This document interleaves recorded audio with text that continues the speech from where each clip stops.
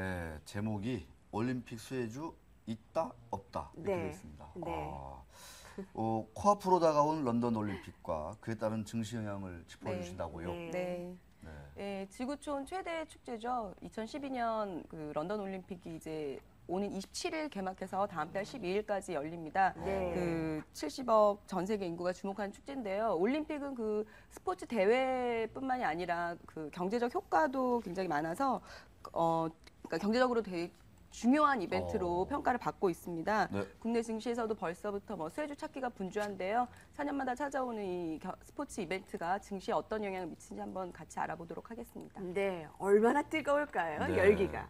기고만장 기자실도 런던으로 갈까요?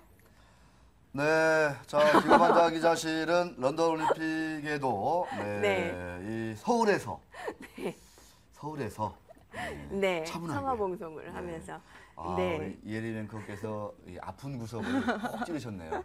저희는 그 초고 효율 방송을 지향하기 네. 때문에 지양이 아니라 지향하기 때문에 네. 런던 근처에도 못 갑니다. 네, 뭐 그러면 나중에 배경. 뭐 나중에 배경으로 런던 뭐 뒤에 아, 깔고 좋네요. 하죠 뭐. 예. 템즈강 그 네. 브릿지 빅벤 뭐 어, 이런 거. 그런 거? 의사당 그런 거? 네. 네. 네. 알겠습니다. 그러면은 런던에 있는 것 같이 한번 네. 얘기를 해보도록 하겠습니다. 어, I'm not 네. 뭐, London 뭐 이렇게. 네. 그러니까 경제 효과에 대해 오늘 얘기를 하게 되잖아요. 수혜주 네. 종목까지요. 네. 단도직입적으로 증시와 뭐- 연관성 어느 정도로 있습니까? 아, 네. 뭐 최근에 관련해서 여러 가지 리포트가 나왔는데 오늘 바로 신한금융투자에서 관련한 리포트가 나왔습니다. 어. 근데 결론부터 말씀드리면 그렇게 큰 영향은 없는 걸로 나왔습니다. 없다. 네, 네. 오호. 그 신한금융투자가 직전 6개 올림픽하고 당시 코스피 지수의 움직임을 비교해서 자료를 발표했는데요. 올림픽이 열리기 15일 전부터 폐막일까지 코스피 지수는 평균 2.9% 하락했습니다. 아. 개최 기간 즈음에서 통상적으로 부진한 수익률을 보인 거죠. 네. 상관관계가 생각보다 좀 적네요. 네. 어, 이 어떤 분인지 모르겠지만 네. 보고서를 좀 잘못 쓰신 것 같아요. 왜요? 왜냐면은 상관관계가 있도록 만들어야죠. 그래서 이게 뭐 네. 15일 전부터 폐마할까 이렇게 하면 안 되고 네. 있을 때까지 기간을 좀 넓혀서 쭉- 쭉쭉 늘려가지고 최대한 상관관계를 만들었어야 되는데 음. 안타깝습니다. 제가 분석했다면 이렇게 안 할 텐데 네. 일단은 15일 전부터 폐마일까지는 네. 별로 없다. 네. 네, 알겠습니다. 막 보름이 아니라 막막 한 달, 두 달, 세 달 정도 분석했으면 있- 있었을 텐데 네. 안타깝습니다. 네. 자, 어, 일단은 짧게 보면은 어, 안 좋은 영향을 미치고 있다 이렇게 좀 볼 수 있다는 건가요? 그러니까 네, 조- 뭐 좋지는 않은데 또 안 좋은가? 그것도 네, 궁금해요. 또 반드시 그런 건 아닌데요. 어, 또 그것도 아니고. 그 직전 대회였죠. 2008년 베이징 올림픽 같은 경우에는 개막 이전 15일 동안 코스피 지수가 3.5% 하락했고요. 대회 기간 동안에는 4.6% 하락해서 부진한 움직임을 보였습니다. 음. 근데 또 그 바로 이전 대회죠. 2004년 그리스 아테네 올림픽 같은 경우에는 개막 이전 15일 동안 코스피 지수가 6.2% 상승했고요. 대회 기간 동안에도 4.4% 상승해서 상반된 움직임을 보였습니다. 와. 네. 그러니까 6년 동안 경제적 효과가 해당 국가의 GDP의 1% 정도도 되지 않기 음. 때문에 경제 효과는 뭐 그렇게는 없는 것 같다라고 했는데 근데 우리가 더 중요하게 여기는 것은 이제 종목이잖아요. 아, 그렇죠. 수혜 업종 네. 그렇습니다. 종목인데 음. 어떻습니까? 한번 그동안의 뭐 수익률, 종목들의 수익률이 어땠는지 비교된 그런 분석 결과가 있습니까? 네, 이제 종목에 앞서서 이제 업종군으로 한번 네. 볼게요. 저 이제 그 음. 시장에서 나눠준 업종군이 있는데요. 이것도 별 이렇게 뚜렷한 움직임을 보이지 않았습니다. 그 올림픽 시즌에 그 구체적으로 보면 2008년 베이징 올림픽 기간 동안 수익률이 높았던 업종은 통신, 음식료 였고요. 2004년 아테네 올림픽 같은 경우에는 금융, 의료 정밀, 건설 등의 수익률이 높았습니다. 근데 그 이전 2000년 호주 시드니 올림픽 같은 경우에는 비금속, 유통, 운수 장비 이렇게가 수익률이 높았어요. 결국 그러니까 세계 대회 동안에 수익률 상위가 겹친 업종이 단 한 개도 네. 없는 건 거죠. 네. 네, 공통이 없다. 뭐 그냥 제 멋대로군요. 네. 네, 한마디로 얘기해서 뭐별 뜯어볼 네. 이유가 없네요. 네. 자, 농담이고 네. 농담 농담이었습니다.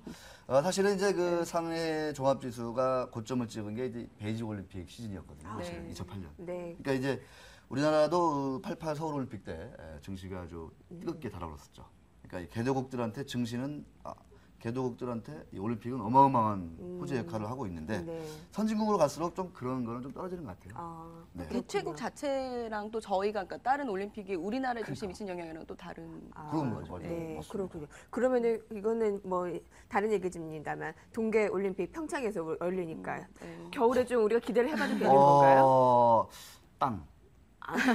땅이죠. 평창 올림픽 하면은 부동산 땅 되겠습니다. 임진수 기자 그렇지 네. 않습니까? 혹시 또 평창 그쪽 많이 좀 취재하지 않, 않았었나요? 아, 부동산 네. 부에 있을 때요. 아, 그때는 아직 평창이 막 실패하고 이런 때여가지고 아. 아, 그랬습니다.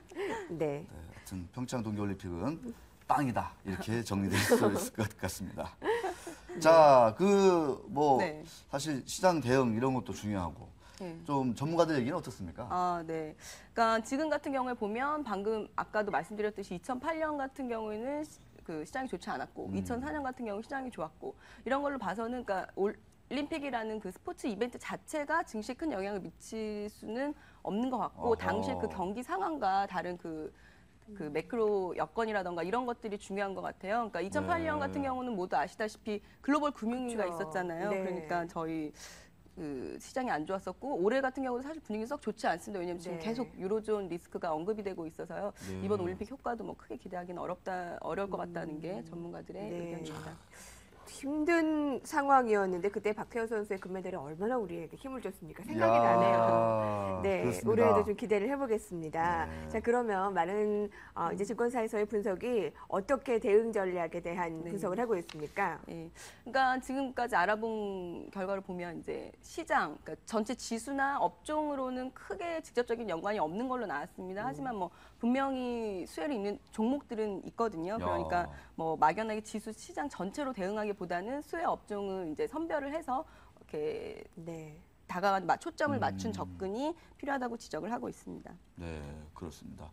자, 그러면 뭐 그 개별 종목에 좀 초점을 맞추자. 네. 어, 말씀하셔 주셨는데 음. 어떤 종목들이 좀 어, 관심을 좀 가져볼 만한가요? 어, 네. 오늘 리포트를 낸 신한금융투자 같은 경우 가장 먼저 언급한 종목은 제일기획입니다. 네. 제일기획. 예, 올림픽 같은 경우는 이제 광고가 많아서 그러니까 광고 선전비 집행이 증가하는데요. 또 메인 고객사인 삼성전자가 런던 올림픽 그 메인 스폰서입니다. 그래서 아. 삼성전자의 마케팅이 세지면 네. 제일기획도 더불어 같이 수혜를 입고 있어서요. 이에 따른 이제 뭐 실적 기대 같은 것도 기대할 수 있다고 지금 금- 신한금융투자는 네. 분석을 했습니다. 요새 네. 그 삼성이 그 갤럭시, 네. 어, 갤럭시 이게 좀 세계 해외 시장에서 좀 막 소송도 많고 그러잖아요. 네, 네.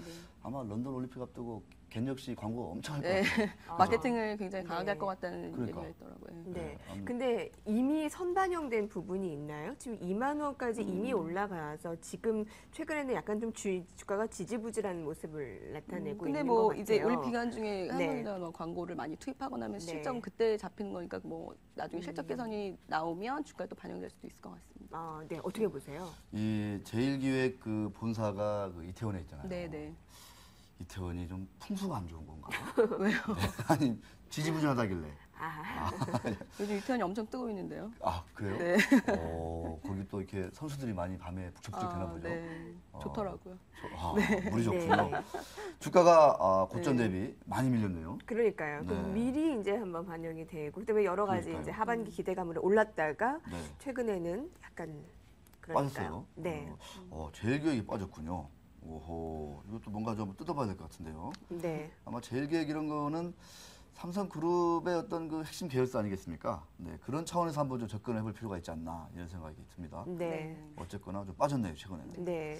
또 다른 종목들이 이제 런던 올림픽 기간 중에 모바일 광고 특수가 또 기대되고 있습니다. 요즘에 또 광고가 모바일 광고? 예, 여러 가지 종류가 있는데 또 모바일 광고에 많이 집중을 하고 있는데요. 그래서 이제 다음 다음이 지금 올림픽 관련 아홉 개 모바일 어 그러니까 광고 특수가 하고 있고요. 다음 아, 예, 예. 그다음에 네오위즈 인터넷 같은 경우 있는데요. 네오위즈. 런던 예, 올림픽 관련 아홉 개 모바일 게임 출시를 했습니다. 그래서 성장이 기대되고 있고요. 네. 예, 그다음에는 오. 이제 홈쇼핑주들이 언급이 되더라고요. 네, GS 그렇죠. 홈쇼핑, CJ 홈쇼핑 등이 있는데요. 지금 런던 올림픽이 이제 우리나라랑 시차 때문에 이제 밤에 야. 중계가 되잖아요. 그러니까 그때 이제 그걸 보면서 채널 돌리면서 어, 이제 채널이 노출되는 게 많으면 또 네. 수혜가 예상된다. 뭐 이런 분석들이 있더라고요. 그다음에 네. 가장 홈쇼핑. 일반적인 거는 뭐 이제 또 올림픽 보려고 TV 바꾸거나 새로 사시는 분들이 있다는 뭐 네. 분석에 따라서 삼성전자, LG전자도 언급이 되고 있습니다. 네. 실제로 그런 분들 있으시더라고요. 제 주변에도 그때 음. 그, 그 고화질로 보려고 TV 바꾸시는. 분들 봤거든요. 비싼 걸로.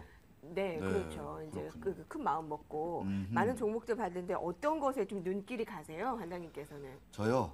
아, 솔직히 말씀드리면은 아, 중소형주가 없다는 점에서 음, 네. 저는 그 홈쇼핑주 음. 그나마 좀 괜찮은 것 같습니다.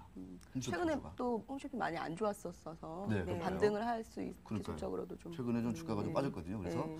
타이밍이 좀 적절하지 않나. 네. 왜냐하면 여름 또 무더위 되고 열대야 되고 이러면 사람들 잠도 안 오는데 시원한 맥주 한 잔 하면서 요것도 이제 스포츠 본다 하면서 네. 알딸딸하게 기분도 좋은데 돌리다 보면 속옷 광고하고 이러다 보면 이제 바로 사나요? 네 전화해서 그렇게 이렇게. 술김에 지르면 후회하는데. 네. 네. 아 그런가요? 네. 그럼요. 네. 자, 그러면 그 종목들 보니까 이 수혜주들에 대해서 유의해야 할 사항들이 어. 궁금한데 네. 어떻습니까? 그러니까 지금 벌써부터 이제 이런 종목들이 많이 언급이 되고 있고요. 올해뿐만이 아니라 스포츠 관련 이벤트들이 있을 때마다 그에 앞서서 이제 실적 확인되지 않고 기대감에 따라서 이제 접근하는 투자자들이 많았습니다. 특히 이제 음. 이제 지금 올림픽이 코앞에 다가오면서 계속 언급이 되고 있는데요. 앞에 말씀드렸던 것처럼 유로존 리스크랑 그 선진국 경기도나 지난 주말에 발표된 미국의 고용 지표가 또 안 좋았죠. 그래서 글로벌이 그 경기도나 우려감이 굉장히 높습니다. 그래서 이번에는 시장의 변동성이 커지면서 이, 런 올림픽 수혜의 효과도 반감될 거라는 좀 우려감이 많고요. 그래서 수혜가 기대된다고 해서 무작정 투자하기보다는 실적 개선이나 실질적인 야. 수혜가 예상되는 안정적인 종목을 중심으로 어, 접근하는 것이 바람직하다는 것이 전문가들의 조언입니다. 그렇군요. 네. 최근에 보면 이제 요새 이제 윈블던 뭐 테니스 결승전도 제가 잠깐 보고 그랬는데 네. 뭐 나이키다 해가지고 이 스포츠 회사들이 엄청 광고를 세게 하지 않습니까? 네. 큰 이제 스포츠 이벤트 때마다. 네. 근데 요새 그 가만히 보면 이 나이키를 제치고 젊은 층들한테 더 많은 인기를 끌고 있는 신발이 있어요. 요새 김연아 그거 그 뭐죠 이렇게 아, W 프로스펙스인가요? 네 그거 어, 그런 거죠. 그게 네. 이제 LS 넥트워크스인데 네. 아 이게 대주주집이 너무 많아가지고 거래가 없다는 이런저런 이유로 주가가 참 싸거든요. 그러니까 아무튼 이런 것도 한번 좀 스포츠 어떤 그 뭐라고 네. 해야 돼 트렌드의 변화. 아, 요새 나이키 네. 옛날에 무조건 나이키였는데 요새는 그리고 또 요즘에는 그 직장인들도 네. 그 운동화를 신고 출근하는 분들이 많다고 하더라고요. 오. 정장의 운동화, 약간 이런 네. 식으로 해가지고 최근에 운동화에 대한 수요가 굉장히 많다고 하더라고요. 그래요? 예, 근데 네. 그런 와중에서도 또 이제 프로스펙스 이런 거 같은 경우는 또 김연아 광고 효과 네, 이런 것 광고 때문에 효과도 노출이- 있고. 예. 거기 또 김연아뿐만 아니라 대세인 김수현도 또 광고 모델로 쓰고 야. 돈 많이 썼네요. 예. 네. 김수현 스타일을 좋아하고. 아니, 전 김수현 스타일은 좋아하지 않습니다. 아 그래요? 네. 끝, 끝까지 윤계산이군요. 아니요, 박유천입니다. 박유천? 네. 박유천이 누구예요? 그 예전에 그 가수 옥탑방 누구죠? 왕세자를 네. 모르시나요? 아, 덕방 왕세죠? 네, 알겠습니다. 네. 근데 그 종목들을 그러니까 그 증권사에서 분석하는 것도 있지만 그 한번 본인이 발굴하는 것도 나쁘지 않다는 오, 거죠. 좋죠. 아까 이렇게 말씀하신 것처럼. 아니 길거리 보면 이 W 워킹화가 엄청 늘었어요. 어. 제가 뭐 이런 얘기한다고 제가 네트워크스한테 뭐 신발 하나 얻어주시는 게 없- 없지만 네. 진짜 돈 많이 늘어났거든요. 네. 그런 생활 속에서의 변화가 중요한 투자 아이템이 될 수도 있다. 네. 괜찮지 않나요? 좀? 네. 네. 뭐 이렇게 생각 처음으로 인정해 주신 것 같아요. 처음으로. 아니 얘기하고서 아 다시 생각해 보니까 생각하게 나는 저희 신문에서도 요즘 생활 속 주식이라는 어, 코너를 운영하고 있습니다. 그렇습니다. 예, 네. 그런 식의 이제 그렇죠. 발굴을 하는 네. 거예요. 종목 발굴하는 네. 거죠. 다음이 올라왔는데 왜 NHN 안 올라왔나요? 그걸 이렇게 있습니다, NHN. NHN 같이 이렇게 예. 보니까. 제가 몇 개만 선별하다 보니까 음. 여기서는 지금 없었는데 뭐 NHN도 있고요. 음. 예. NHN은 언론사들하고 사이가 안 좋아요. NHN은 이 포탈이 네. 권력이 심하거든요. 형포가. 음.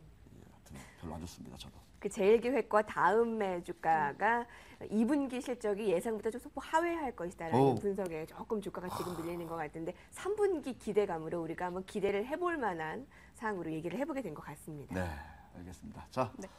여기까지 어, 기자들이 떴다 마칠까요 이제? 네. 네, 넘어갑니다.